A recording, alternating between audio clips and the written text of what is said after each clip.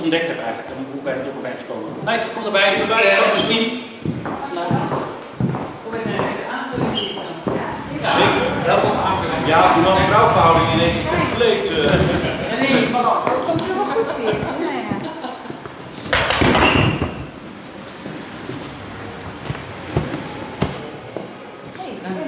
Ja, ja. Ja.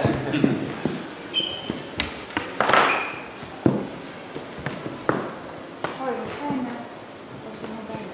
Ja, zeker. Nou, ik uh, sta op punt om te beginnen. Oh, nou. Want uh, Maar uh, de wereld werd voor mij steeds helderder. Of ik ontdekte dat er, nou niet alleen, maar iedereen denkt dat er door internet natuurlijk de wereld heel overzichtelijk wordt. En we ons kunnen laten inspireren door andere mensen. Twitter, Facebook, kun je zo heel veel dingen leren die allemaal goed voor ons zijn. Want Facebook en Twitter is natuurlijk al een big happy life over het algemeen. Of verklaren over dingen die juist helemaal niet goed gaan. Dus zo komen we vanzelf bij een betere wereld. Dat denk ik dan zo leren we dat het goed om met een elektrische auto werk te gaan. Eigenlijk nog veel beter met de trein natuurlijk. we leren dat het goed is om je jeans te leasen. Dat kan tegenwoordig. kun je inleveren en dan worden we dan een trui um, En als we dan snoepen, dat doen we natuurlijk met. Fairtrade chocolade.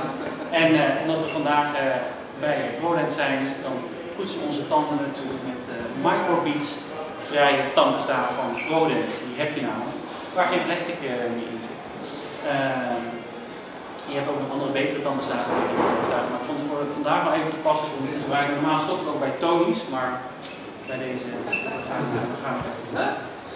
Um, maar tegelijkertijd uh, omringen we ons nog steeds uh, met single-use plastic. Zo'n plastic wat uh, maar één keer wordt gebruikt. Gemiddelde levensduur van iets van plastic dat hier verpakt is, is ongeveer maximaal. En nou, dus we halen ergens grondstoffen uit de grond en we gebruiken het maar heel kort en daarna gooien het weg. En vaak wordt het verbrand natuurlijk uh, energie trekken. Nou, dat is hartstikke mooi. Maar eigenlijk is het poef weg en we doen er helemaal niks mee. Dus we halen iets uit de grond dat daarna echt uur bestaat. Um, en mijn verbazing is helemaal over, uh, over dit mineraalwater. Uh, mineraalwater, het wat je rechts ziet, dat is echt het aller, aller, allerbeste water op de hele wereld. Maar op Spa trouwens natuurlijk ook verbijsterend goed. dat klopt, bij de bron is het echt het beste water wat er is. maar mooi is om te weten dat wij eigenlijk ook bronwater drinken in Nederland. Bronwater komt uit over het algemeen we halen ook uit de grond. Dus eigenlijk we over hetzelfde water, alleen wordt het bij deze merken verpakt in een plastic flesje wat je daarna weer, weer weggooit. En in de zomer we zijn ook in leven in de wegwerkmaatschappij, dus we gooien het niet in, maar ook regelmatig gewoon naast Want iemand anders zal het wel weer, weer opnemen. Uh, komt omdat er geen, geen statiegeld zit. In de discussie uh, moet een beetje gevolgd hebben. Officieel was het al afgeschaft, statiegeld zou helemaal niet meer zijn. Gelukkig zijn er een paar mensen opgestaan die zeiden, nou, laten we dat niet doen. Want zodra je hier aan de statiegeldfles zou leggen, dan zouden er 5 water niet meer liggen. Met andere woorden, het is normaal om iets weg te gooien, uh, maar behoorlijk wel dat ook in onze en kanalen. Dit is niet ergens een vervuilde rivier uh, in China of zo. Dit is uh, Maastricht bij laagwater, de Maas. Heel veel plastic kastjes zie je en heel veel flesjes met het water worden meegenomen uiteindelijk via de Noordzee komt het zo op vijf plekken in de wereld komt het bij.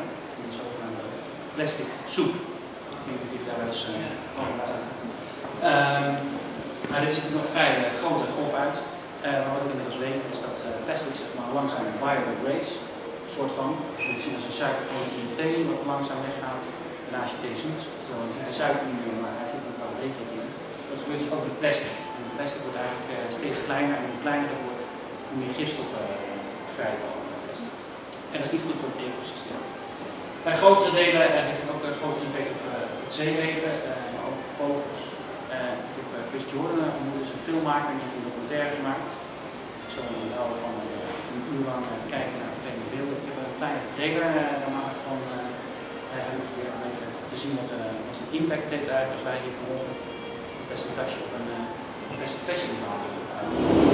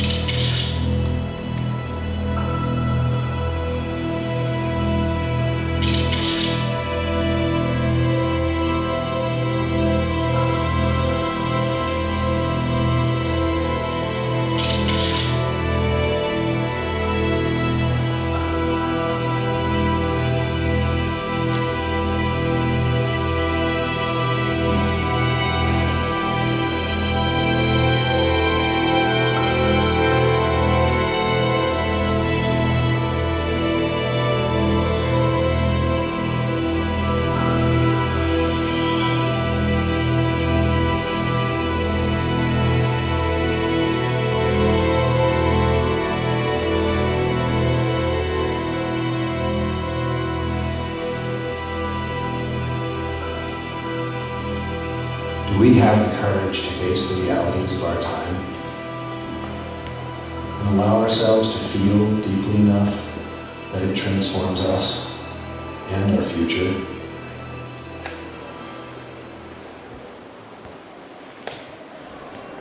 Nou het gaat dus al een uur lang maar volgens mij heb ik inmiddels al laten zien wat er op de avond is.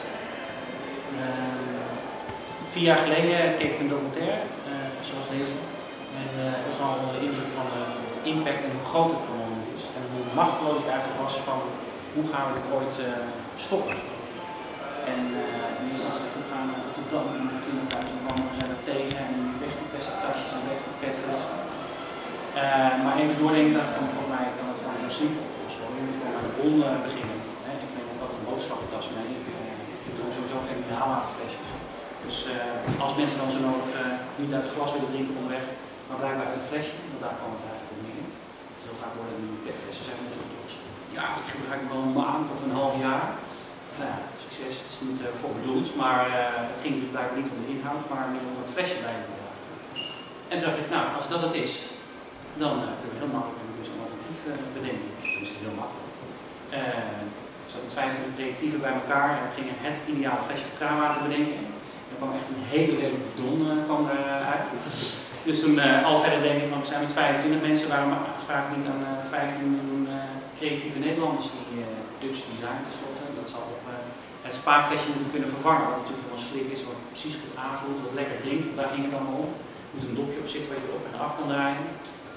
Nou, Hinke van Mortel en uh, alumni van de TU Delft heeft dit flesje. Eigenlijk dit flesje. We bedacht dat we in staal gingen maken. Hij moest onverwoestbaar zijn, hij mag nooit kapot. Uh, maar ik wilde ook per se in Nederland uh, produceren. Dat ging helaas niet, dus we hebben een kunststofversie uitgekomen. Maar ik heb inmiddels ook geleerd dat die wegwerpplastic in het plastic heel lang kan bewaren. Stel materiaal stukwerk gebruiken kan worden. Dus in principe onverwoestbaar, maar alles kan kapot. Uh, maar wat Rieke gedaan heeft, heeft een hele fles ontworpen met twee grote openingen. Waardoor die makkelijk in de vaatwasser kan en kan worden schoongemaakt. Dit is even een promotiepraatje. Uh, sorry? Ja. Dat moet te horen. uh, en, maar wat leuk ook is, dat heb je ook ontdekt, dat je als je klaar bent met het water, dat je zo over kan op de wijn natuurlijk, met uh, het glaasje. Um, en hij heeft het ontwerp ingeleverd, wat uh, met uh, exact dezelfde diameter als Spa en al die andere merken gewoon ontzettend lekker drinkt. Dus in Nederland in ieder geval hoeven we echt niet meer over op uh. Zo in bidon heel naar. Ja, wat, wat vind je daar? Oké. Okay. Ja.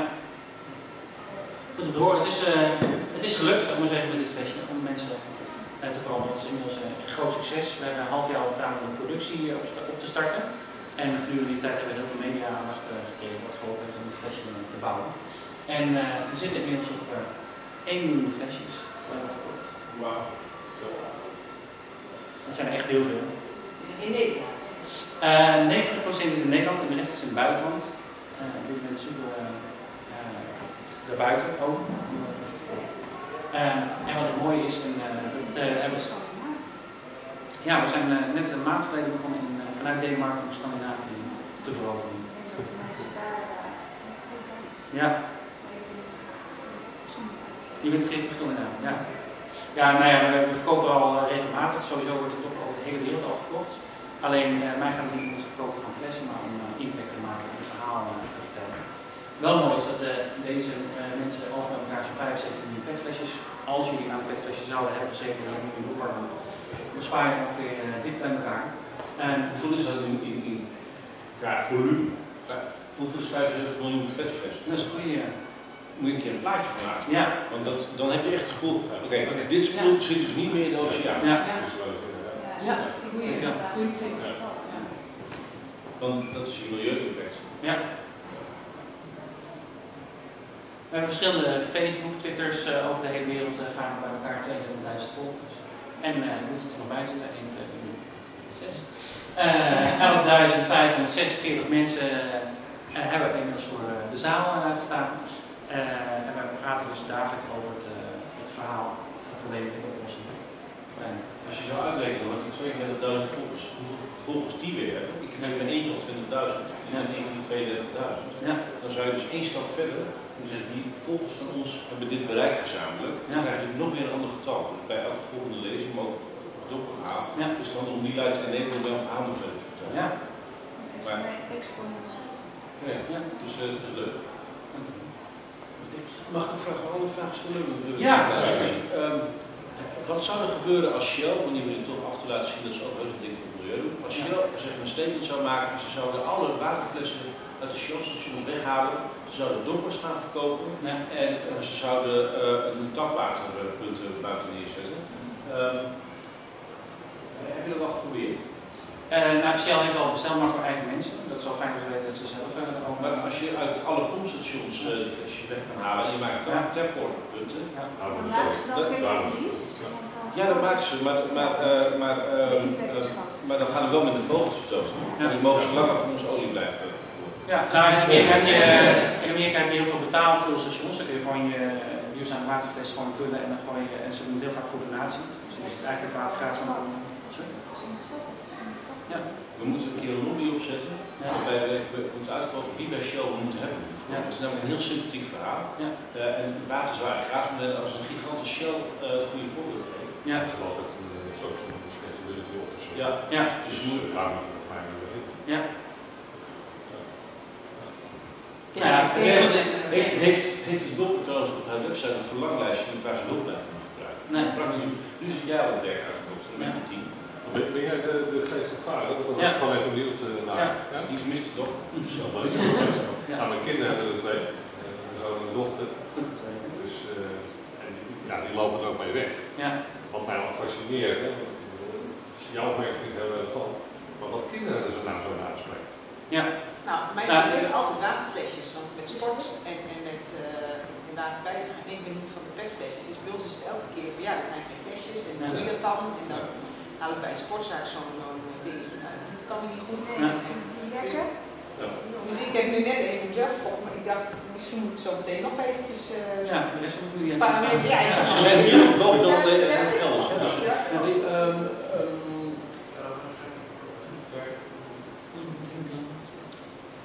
ja, Misschien eh, als je, als, je, als je om hulp gaat vragen, Mhm. als de dokter zijn, Ja. dan die 32.000 volgers, die hebben geen flauw wat ze voor jou kunnen doen, behalve de la- lawaai maken en dokters kopen. Ja. Dus stel dat er daar tien mensen tussen zitten die toevallig eh, eh, eh, getrouwd zijn met iemand die de basis Nee, van ja. Michel Ja. of die. Dus de uitdaging is nu om, om dit te transformeren naar een Ja. community die eh, dit hele verhaal verder kan brengen. Ja, En zo allemaal even een foto met jou, allemaal. ja. En meteen onze eigen Facebookpagina zetten. Dat we daar We doen er even voor die band die we daar gemaakt hebben. Ja, eh, Ik wil in ieder geval graag zo met jou op de foto. Ja. Daarbij, want die ga ik er meteen even op mijn Facebook Ja. Dan heb je alweer een aantal mensen bereikt. Nou, Dank Ja, je ik zit ook meteen te denken, maar ik ken iemand. Ik ken al wat mensen die eh, vinden die inderdaad eh, die waarheid bij grote Ja. speciaal. Ja. Hey, Albert Heijn doet het wat lastiger, denk ik. Maar tapwater bij Ja. een pompstation is gewoon een heel goed idee. Ja, en ze kunnen ook nog gaan met die zouden gewoon geld voor kunnen vragen om een Shell. Ja. Of, eh, voor en gedoe. dan hoofdfunctie bij Unie. Kijk. Ja, die zeker. Unilever is fijn. Nou, daarom heb ik ook Polen erin zitten, zodat ik voor de Unilever. Ja, precies. Ik denk, je weet, zit iemand in de zaal. Ja, In zijn oude... Uh, je het over je roadmap? Ik ga verder, ik ga verder. Want eh, dit, dit helpt allemaal bij bij de volgende slide, want we gaan namelijk voor world domination. Dus dat hebben we dan wel nodig, dat eh, we grote opdrachten krijgen. Ehm, we zijn natuurlijk heel trots dat we in Haarlem eh, zijn begonnen en daar ook echt de bakermat. En eh, van daaruit zijn we sinds dag 1 eigenlijk al bezig in Berlijn, in Amerika. We zaten hebben we echt een kantoor gehad in San Francisco en dat hebben we verhuisd naar New York. Sinds kort zitten we in, in Rio. Ehm, is even voetballen, maar we hebben, we hebben een droom die we doelen stellen natuurlijk als bedrijf. Ehm, en ergens eh, twee jaar geleden dacht ik van oké, 2016 dat is een mooi, eh, mooi doel. Wat is in 2016 in Rio? Dat is iets van de Olympische Spelen. Eh, toevallig, geen toevalligheden, maar eh was ik twee meiden tegengekomen die eh, staan nu Europese kampioen volleybal zijn die eh, geworden. Beachvolleybal, dat is na voetbal en na atletiek tijdens die Olympische Spelen de derde sport. Nou, weet ik kan niet. Dus we hebben een bedrijfsuitje in 2016. En dan moeten dan eh, wel deze acht plekken dan wel actief ook al uh, doppers gaan verkopen, maar voornamelijk impact maken. Uh, en vertellen aan mensen waar we voor staan. Dus kraanwater promoten en reduceren. Dus nou, dit netwerk helpt ons ook heel erg daarbij. we hebben enkele keer gesproken bij TEDx, maar vooral net als hier vandaag. TEDx is helemaal fan van als zijn fles. Dus bij heel veel worden doppers weggegeven bij TEDx. En het enige wat je dan krijgt, die dag is een dopper. En tijdens de dus een rock'n'roll en dan moet je meedoen. Dus het enige wat ze hebben als afval is een klein papieren uh, velletje van een brood. Dat, uh, dat is heel? Ah ja, uh, op 10 oktober 2010. Dus in 3,5 jaar. Grappig is dat toen al heel snel een dopper kreeg van mijn buurvrouw. Ja. is. Ik was heel blij. Ik wauw, ik Ja. zag hem toen overal. Ja. Namelijk bij de ministerraad. Ja, klopt. Dus ineens allemaal op een tafel. Ja. Ja. Dat is natuurlijk. Ja, we hebben samen met uh, Dunea, uh, het waterbedrijf van uh, Den Haag, hebben we een uh, actie gedaan om uh, bij de laatste motie, als je stopt in de Tweede Kamer, dan uh, die moet het altijd halen. En uh, Gerda van Burg die heeft uh, de kraanwatermotie gedaan, die eigenlijk wel niet van haar was, die motie, maar goed. Uh, ja, dus dat is een, uh, Bestaat er een Wall of Fame met alle mensen die al een keer een dopper hebben laten bedrukken, dat je die ergens op een pagina doorheen kan scrollen, dat je kan zoeken wie allemaal, dat je, oh, dat, uiteindelijk wordt het een verzamelobject. ja. ja, wij hebben letterlijk een band met uh, Polaroids, dus we hebben Polaroids van. Uh, uh, werk, maar is om die op Mijn zus is directeur bij Friesland Zorgverzekeraar. En die zijn heel erg aan het kijken hoe kunnen ze uh, gezondheid Ja. voorkomen dat mensen ziek worden. Ja. Dus ik denk dat zij, zij vindt dit heel erg leuk. Ja. Dus, en uh, haar baas zit weer bij het ministerie van. Dus uh, dat is denk ik ook wel leuk. Nou, uh, krijg al een paar Ja. mensen. Ja. Ja. Um, die uh, doppen Ja. en die, vooral die lipjes daarin, of die seals, die dingen, dat, dat het rubbers wordt, Ja. zijn die op los verkrijgbaar? Verkopen die los? Nee, niet meer. Ja, tenminste, het is net weer benaderd. We hebben een oude, het oude model had losse ringetjes. Ja. Die kunnen eruit vallen en als dat gebeurt, dan kun je ons benaderen en dan krijg je nieuwe ringetjes. Ja. Maar de nieuwe versies, daar zitten ze in. Dus Ja. die kunnen er ook niet uit. Maar je kunt dus niet een losse dop bestellen. Ja, je kunt wel losse dop. Oh, dat is Ja, sorry. Ja. Oh, sorry. Ja, een losse dop. Ja, oké. Ja, alle onderdelen kun je los bestellen. Ja, dus ik die van mij, toen ik kreeg, die van. Ja. Zo zit ik toen met één was of zo. Ja. Ja, we hebben uh, bewust... Ja, nee, dat kan. Ja. Ja. ja, we hebben uh, het materiaal is nu veranderd van de, de Ja, ja, original. het Ja. enorm, maar Ja. sindsdien heb ik geen gehad. En het was wel een van mijn redenen dat ik hier was vandaag. Nee. Nee, Nee, ja. Ehm, heb je ooit overwogen om, met, als mensen een dopper hebben die stuk is, om ze gewoon een nieuwe te geven? Ja, ze krijgen Als, als je ons mailt, krijg je een Nou ja, Ik snap dat je daar niet grote... Nee, maar dat is, dat is namelijk zo cool qua... Uh, hey, vanaf nu willen we altijd in je leven blijven. Dus Ja. als je stuk gaat, dan maak ik ook geen... Ja. Briljant. Ja, nou, we hebben ook het materiaal veranderd. We, we werken zonder weekmakers. Dat is, uh, kan je hormoonstelsel aanpassen. En, en in het begin, ja, dan is het eigenlijk bijna net zoals glas. Dat breekt dan gewoon. Alleen is het- de formule hebben ze iets veranderd, waardoor het uh, nu minder snel breekt. Dus het zou nu uh, eigenlijk niet moeten gebeuren. Alleen uh, het dopje blijft bij de dop original, bij deze niet, maar het blijft gewoon een zwart punt. Dat is uh, helaas zo. Dat hoort er helaas bij. Heb je wel eens overwogen om het productieproces van de dopper Mhm. in de formule van open source beschikking te stellen? Dat iedereen de dopper wil jatten en kopiëren, dat vooral kan doen. Ja, nee.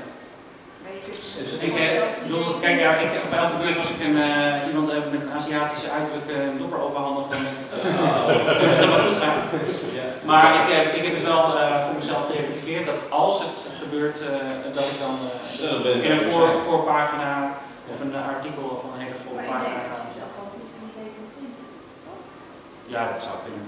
Ja. Ja. Maar dat is wel uh, natuurlijk. Volgens mij moet je daar ook niet bang voor zijn. want Dat geldt niet voor elk product. hè. Ja. Eh, Nee, Nou ja, dat is Een beschermd, iPad maar uh, ja, je kan een rechtszaak aangaan. Maar het is niet Nee, de iPad wordt natuurlijk ook eh, hè, Ja. eh. Maar ja, je moet zorgen dat je marktleider blijft. Ja. En ik denk van jouw product is dat het Ja, hangt meer dan vast. Ja, ja. We willen sowieso de, de boodschap uh, verkondigen, maar uh, voor mij was uh, zeg maar, het reduceren van plastic afval niet uh, voldoende. Eh, ik vond het zo raar dat mensen hier uit plastic zitten drinken, wat van Fiji, Spa, weet ik veel, exotische orde gaan, eh, gaan halen. Terwijl er 900 miljoen mensen in de, in wereld ook geen toegang hebben tot uh, veilig drinkwater. Dus eh 5% van onze netto omzet gaat naar eh, onze stichting. En daarmee geven we dus educatie op eh, scholen over uh, reduceren van plastic afval eh, over Eh, maar ook eh, doneren wij eh, aan waterprojecten in Nepal. En dat is niet zomaar even een neerzetten, dat er zit een filosofie achter. Dat wil zeggen, de bewoners die, die kunnen zich aanmelden per dorp. Als ze zich aangemeld hebben dan, en ze zijn akkoord, eh, dus, dus ze kunnen water uit de buurt halen, ergens slaan of uit de bergen. Eh, dan zullen ze hun dorp eerst helemaal schoon moeten maken, dat schoner dan, dan Amersfoort moet zijn. Eh, en schoner dan eh, de rest van Nepal, want ze hebben daar niet echt een infrastructuur eh, voor afval. En daarna zijn de bewoners zelf die de waterlijn weer aanleggen, zodat ze weten hoe ze ze ook moeten onderhouden. In plaats van dus even iets neerknallen en hard wegrennen, is het samen de bevolking die waterputten slaan en waterlijnen trekken. En daarnaast gaat het ook over sanitatie, dus er worden ook toiletten gemaakt en educatie gegeven over weer zelf verzorgen. Dus ook over menstruatie, maar ook over scheren en uh, naamsport houden en jezelf wassen. En dat soort dingen. idee. Drie dubbelslag. Ja. We hadden natuurlijk vroeger in Nederland, in alle kleine leuke, lieve, schattige dorpjes, hadden we een dorpspoel. Ja. Maar nou is het dopper, de dorpspoel, herintroduceerd in Nederland. En alle breken in kleine dorpjes, je kunt gewoon in Drenthe en Overijssel. Zo, de dopper dat de dorpspoel terugkomt, alleen met de waterleidmaatschappij. Ja. Zodat alle toeristen die langskomen daar gewoon water kunnen halen en verkopen meer doppers. De opbrengst daarvan een stukje voor een deel, voor de helft in het gebied. Van landsontwikkeling in Nederland, want daar zijn de meeste lui in Nederland die beste kwesties kopen, dan de helft stukje voor ook een dorpspoel. Dat betekent dat je een revolutie van het dorps. Ja. Ja, wij werken samen met uh, Join the Pipe. Dat is eigenlijk ons bekend, Ja, maar maar- normaal op stationslocaties. Nou nee, ze zijn hard bezig om uh, overal in Nederland weer uh, Oh, oké. kraanwater, uh, waterpompen neer te zetten, waterpakpunten. Uh, of bij de kracht van het woord dorpspomp moet je even niet onderschatten. Dat even join the pipe is anders dan de dorpspomp. Ja. eh, Ja. sociale een idee. is het slecht. nee, het is een super idee, want uh, daar heb ik ook aan gedacht, maar goed, focus, uh, Ja, ja. ook belangrijk. Ja, Dus daar ook mag ook- vragen aan de community. Ja. De inderdaad. Ja. Dat vinden kinderen ook heel leuk. Ik Maar uh, zoek nog in de verantwoordelijkheid van de organisatie. Dus, Ik heb denk ik wel, een paar Mark. dingen Ja. gekregen, maar dit is hartstikke leuk. Ja. Giet maar even. Ik Hoe ik heet jij de op Twitter? ook nog. Hoe heet jij op Twitter? Resourcer. Maar je moet gewoon even zoeken Martijn afkomen, dan krijg je er twee. Eentje heeft Oh, ben nul dat? tweets en duizend volgers. Oh, ben jij? Ja, weet je. snel en quick. Volgens mij volg ik jou al. Oh, gezellig. Ja, die andere 19.000 niet. Ehm, ik, eh, ik had eh, vanaf het begin was het een eenmanszaak. Eh, ik werd van allerlei mensen geadviseerd, want met dokkertjes verkopen, moet je jezelf beschermen. Eh, dus moest zo snel mogelijk een BV. Ik laat me graag leiden door andere mensen, maar ik wil wel één ding zeker, ik ben geen BV. Zo voelde ik mezelf niet. Eh, omdat ik de wereld wilde veranderen op het gebied van plastic afval en dat doe je volgens mij niet in een BV. Dus BV en daarnaast een stichting eh, neergezet. Maar we vonden ook niet dat we alleen maar stichting waren en alleen maar soft en de stichtings allemaal soft zijn, maar meer de soft side van het verhaal. Ehm, in Amerika vertelde ik het verhaal mensen die zeiden, oh, you're social enterprise. Nog nooit van gehoord. Eh, maar ehm, ik vind het helemaal niet erg om geld in een commercieel product te hebben. Maar het is uh, bedacht om een sociaal probleem te lossen. Um, dus dan heb je een social enterprise. En daar hebben ze in Amerika een label voor. Dus de bedrijven die verandering willen, willen teweeg brengen. En dat heet een B Corporation. En daar hebben we ons bij aangesloten. Nu zijn daar duizend bedrijven aangesloten, de meeste nog in Amerika, maar het begint langzaam over de wereld heen te verspreiden. Het is voor ons heel belangrijk om onszelf te profileren.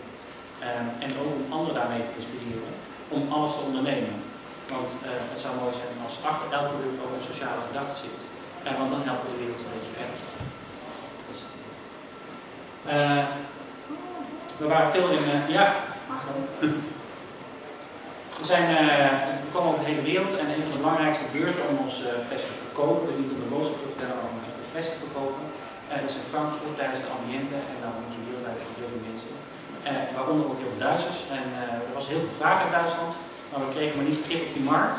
Want uiteindelijk hadden ze dan van, ja, maar uh, het zal wel een groen leuk flesje zijn, maar groen is niet groen genoeg. Want eh, plastic, en blijft plastic, en plastic is altijd fout. Dus ik dacht van ja, eh, hoe gaan we dat nou, eh, gaan we oplossen? Dus we hebben dat onszelf eh, bedacht. Maar eh, ons laten leiden door Cradle to Cradle om eh, aan te tonen dat we een veilige en goede fles hebben. Want soms eh, kun je het wel zeggen dat je geen uh, gifstoffen gebruikt in plastic. En dat het dus breekt, maar dan moet je dus wel een soort iets van achter hebben waarom dat gebeurt. Eh, en hier eh, kun je ook vragen alle bewijzen dat wij Cradle to Cradle zijn gecertificeerd, dat er geen gevaarlijke gifstoffen in zitten. En dat mocht de fles dus kapot gaan, dat meneer Wimmels kan inleveren. En dat wij van die fles weer een nieuwe fles kunnen maken. En als we er eentje. En zo denken wij dat eh, de wereld er een stuk beter uitziet. Ja.